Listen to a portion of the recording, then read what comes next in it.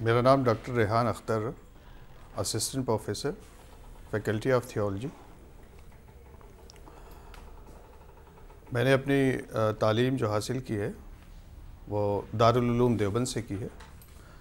اس کے بعد میں یہاں پہ ایڈمیشن میں نے لیا عالمیت کر کے ایکولنٹ بی اے عالمیت کر کے بی اے جو وہاں کا ہوتا ہے، یہاں میں نے ایم اے تھیولوجی میں ایڈمیشن لیا، یہاں سے میں نے ایم اے کیا، دو سال کا۔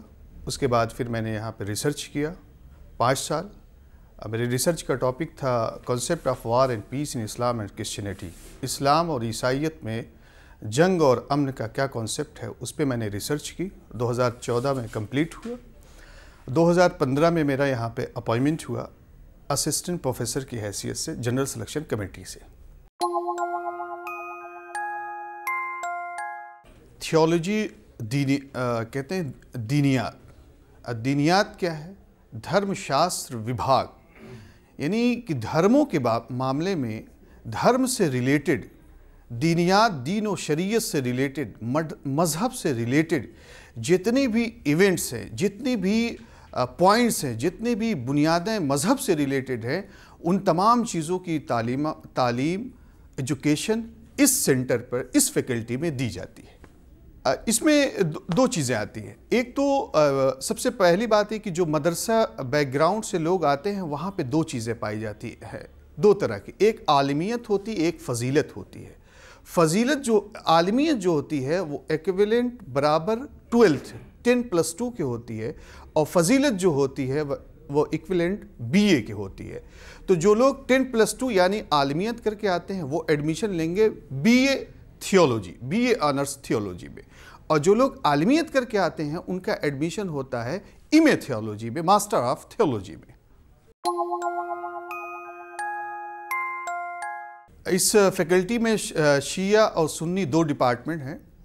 سنی ڈپارٹمنٹ شیعہ ڈپارٹمنٹ سنی ڈپارٹمنٹ میں یہ ہے کہ ان کی جو ریلیجیس جو آئیڈیالوجی ہے اس سے ریلیٹڈ جتنی بھی کتابیں ہیں جتنے بھی تھاٹس ہیں، جتنی بھی سوچ ہیں، جتنے بھی مسئلے، مسائل ہیں، اس کو اس میں پڑھایا جاتا ہے ڈپارٹمنٹ آف سنی تھیولوجی میں اور شیعہ تھیولوجی میں پڑھایا جاتا ہے جو ان کی سوچ ہے، جو ان کی تھاٹ ہے، جو ان کے پوائنٹس ہے جو ان کے مسائل، مسئلے، مسائل ہیں، ان سے ریلیٹڈ وہ تمام چیزیں اس میں پڑھائی جاتی ہیں۔ لیکن کبھی شیعہ اور سنی کے کوئی ڈفرینسز نہیں ہوتے ہیں، ایک ہی چھت کے نیچے دو تعلیم ہو رہی ہے۔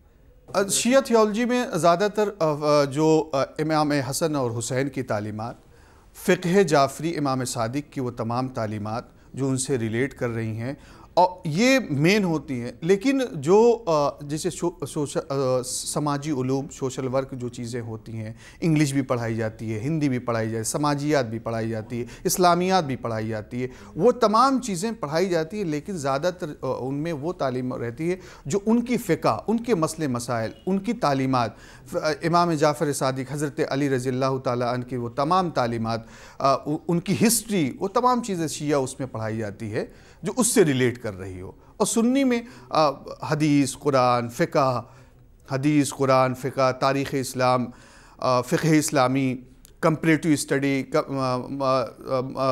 تمام مذہب کے درمیان کوئی تعلق ہے ہم آہنگی ہے سملیٹی پائی جاتی ہے، وہ تمام تعلیمات اس میں پڑھائی جاتی ہے۔ لیکن سب سے بڑا جو اچیومنٹ اس فیکلٹی کا جو سب سے بڑا میسج جاتا ہے، وہ یہ جاتا ہے کہ ایک چھت کے نیچے دو لوگ، لیکن کبھی کوئی ڈیفرنسز نہیں، کبھی کوئی اختلاف نہیں، ایک ہمیشہ امن و شانتی کا میسج۔ دوسری بات، اس فیکلٹی میں جو سب سے زیادہ ریسرچ اور تحقیق ہو رہی ہے، جو اسکالر نکل رہے ہیں، جو پریزنٹیشن ہوتا ہے، جو ان کا پندرہ روزہ جو ان کے پیپر پریزنٹیشن کے پروگرام ہوتے ہیں اس میں سب سے زیادہ چیزیں وہ ریلیٹ ہوتی ہیں جو آج کے ماحول میں، آج کے سماج میں ہندوستانی سطح پہ جو تمام چیزیں دکھ رہی ہیں۔ اگر کہیں پہ کوئی دھرم کی بات ہوتی ہے ہندو و مسلم کی، تو اگر ریسرچ اور تحقیق اسلام اور ہندوئزم میں ہندوئزم کی کتابوں میں، گیتا میں، ویدوں میں اگر امن کی تعلیمات ہے، تو اس کو دیکھا جاتا ہے کہ کیا جس امن و شانتی کی بات گیتا کر رہی ہے، کیا جس امن و شانتی کے بعد وید کر رہا ہے، کیا قرآن میں اس کی تعلیمات پائی جاتی، کوئی ہم آہنگی ہے کہ نہیں، کوئی تعلق ہے کہ نہیں، اس پہ ریسرچ ہوتی ہے۔ اگر بائبل ہے، اگر بائبل ان کے سامنے ہے، تو اسلام اور بائبل میں، قرآن اور بائبل کے درمیان کیا ہمانگی کیا ربط ہے، کیا سمیلیٹی پائی جاتی ہے؟ اتنا تمام چیزیں، وہ اس ڈپارٹمنٹ کے ریسرچ ہوتا ہے کہ کا سب سے نمائع کیریکٹر اس کا کردار ہے۔ ہماری اس یونیورسٹی میں ہندوستان کے اور جو یونیورسٹیز ہیں، ان میں کہیں فیکلٹی آف تھیولوجی تو آپ کو نہیں ملے گا، صرف اس یونیورسٹی کا اپنی آئیڈنٹیٹی ہے کہ صرف یہاں پر فیکلٹی آف تھیولوجی ملے گی آپ کو دیکھنے کو۔